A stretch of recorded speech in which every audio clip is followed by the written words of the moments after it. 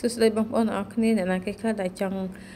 ញ៉ាំសណ្តែកដីលីងតែអត់ចេះធ្វើអត់ដឹងថាធ្វើមិនឲ្យវាស្រួយឆ្ងាញ់ល្អណាបងប្អូនលើបងប្អូនទាំងអស់គ្នាសូមអញ្ជើញមើលវីដេអូរបស់ខ្ញុំហើយបងប្អូននឹងចេះធ្វើឯងគឺងាយស្រួលមែនតើណាបងប្អូនដូចក្នុងរូបវីដេអូរបស់ខ្ញុំធ្វើអញ្ចឹងណាបងប្អូនគឺអត់មានខ្លាញ់ច្រើនទេទាំងខ្ទឹមទាំងម្ទេសគឺញ៉ាំបានទាំងអស់គឺ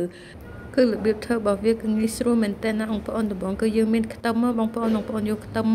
ចង់ដាក់ច្រើនក៏បានតិចក៏បានតាមចំណងចិត្តដែលយើងចង់ញ៉ាំអញ្ចឹងបងប្អូនចិត្តវាតូចតូចហើយដាក់ម្ទេសម្ទេសបៃតងក៏បានម្ទេសក្រហមក៏បានដែរតែសារតែខ្ញុំនៅប្រទេសគេគឺគេនិយមញ៉ាំម្ទេសបៃតងអញ្ចឹងគឺមានតែម្ទេសបៃតងនឹងឯងបងប្អូនហើយបងប្អូនដាក់អំពងខ្ទឹមណាបងប្អូនយើងអំពងខ្ទឹមឲ្យវាស្រួយល្អកុំឲ្យវាខ្លោចបងប្អូនមើលតាមនឹងហើយយើងស្រង់វាទុកដឡែកហើយយើងអំពងម្ទេស ម្ដងទៀត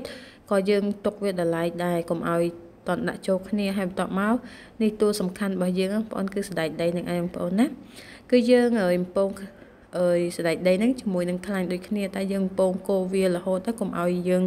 ឈប់បងប្អូនពួកអីពេលណាដែលយើងឈប់ទៅវាអាចធ្វើឲ្យសណ្ដែកដីខ្លោចហើយបងប្អូនបំពងដូចនៅក្នុងរូបខ្ញុំចឹងណាហើយបងប្អូនអាសាភ្លក់មើលបើសិនជាសណ្ដែកដីហ្នឹងវា